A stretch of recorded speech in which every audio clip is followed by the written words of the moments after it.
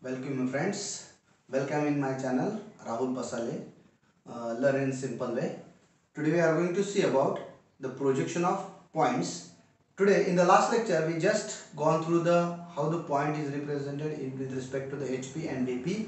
Today we are going to solve the actual problems which are related to projection of points.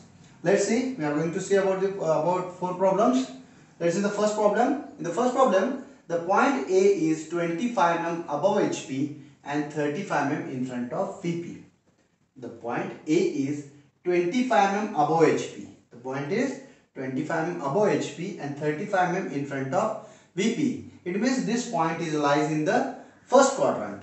So the point is 25 mm above HP. That's why from XY line we are going to take 25 mm distance above XY line we are going to take 25 mm distance above this xy line and this is will be the front view of this point A. This is the front view of point A that is A dash. Then this point is 35 mm in front of VP. The point is 35 mm in front of VP. It means its top view will be below xy line. So mark this distance on this same projector. Extend this projector in downward direction at 35 mm distance. Plot this point A that is the top view of this point. So this is the front view of this point, this is the top view of this point and as this point is above HP and in front of VP, the point is above HP and in front of VP, it means this point is lies in the first quadrant. This point is lies in the first quadrant. Then we go to, to the second point, the point B. Second point is B. The B point is 30 mm above HP the point B is 30 mm above HP and 45 mm behind VP. 30 mm above HP and 45 mm behind VP. It means above HP and behind VP. It means this point lies in the second quadrant.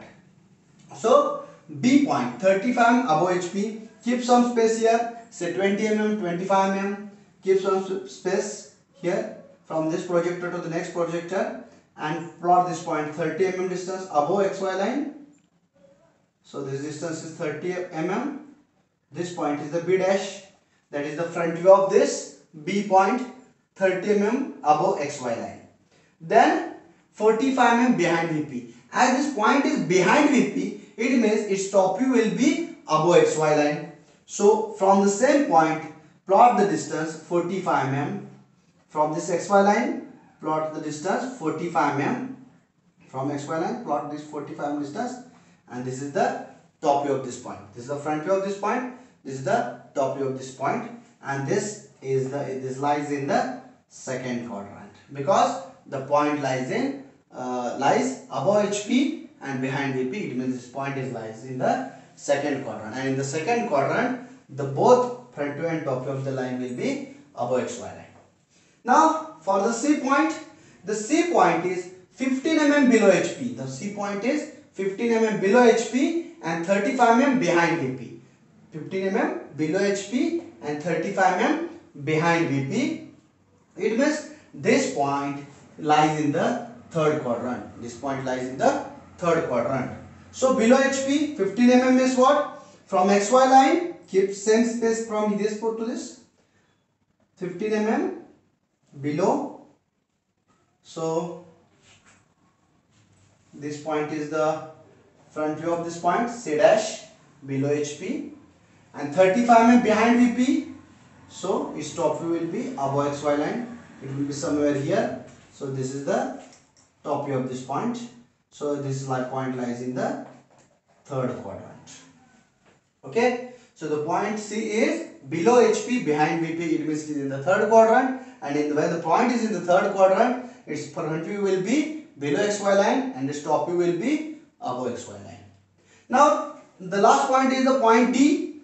So the point D is 20 mm below HP. Point D is 20 mm below HP and 45 mm in front of VP. 20 mm below HP and 40 mm in front of VP. It means this point lies in the fourth quadrant. This point lies in the fourth quadrant. So its front view will be below HP means below XY line.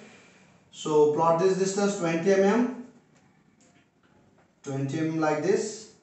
So this point is the D dash that is the front view of this D point below HP 20 mm below HP and 40 mm in front of VP it means its top view is also below XY line so from this point from XY line remember always we are going to take the distances always from XY line only so from here plot the distance 40 mm below this. So this point will be the D point that is the top view of this point. So this point lies in the fourth quadrant. So this is the first quadrant second quadrant third quadrant fourth quadrant. So as we discussed in the last lecture when the point lies above HP in front of PP, it means this point lies in the first quadrant and when the point is in the first quadrant, the its front view will be above XY line, the top view will be below XY line. When the point is above HP behind VP, it means the point lies in the second quadrant. At that time, its front view and top view both will be above XY line. When the point is below HP and behind VP, in that case, the point lies in the third quadrant and when the point lies in the third quadrant, its front view will be below xy line and top view will be above xy line. And lastly, when the point is below HP, when the point is below HP and in front of VP, it means this point lies in the fourth quadrant and when the point lies in the fourth quadrant, its front view and top view will be, both will be below xy line. So, it is very much simple. Do remember always one thing always we are going to mark the distance with respect to HP in the front view only the distance with respect to HP we are going to mark in the front view only. Above HP above XY line. Below HP below XY line. Simple. Front view. And with respect to VP that distance we are going to plot in the top view. That is in front of VP it means its top view will be below XY line. And behind VP its top will be above XY line. It is very much simple. Uh, for the detail go through the last lecture first then go through this lecture then you will get the detail about this projection point.